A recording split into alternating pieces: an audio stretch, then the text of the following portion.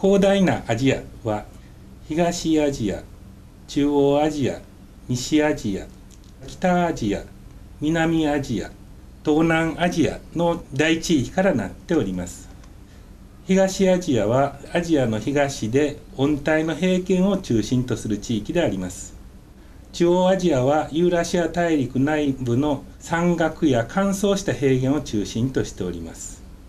インドパキスタンを中心とする南アジアはモンスーンの平原を中心とする地域であります。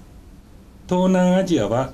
モンスーンの森を中心とする地域であります。最も北にあります北アジアは寒帯亜寒帯の平原と寒い地域に生育する樹木からなる森を中心とする地域であります。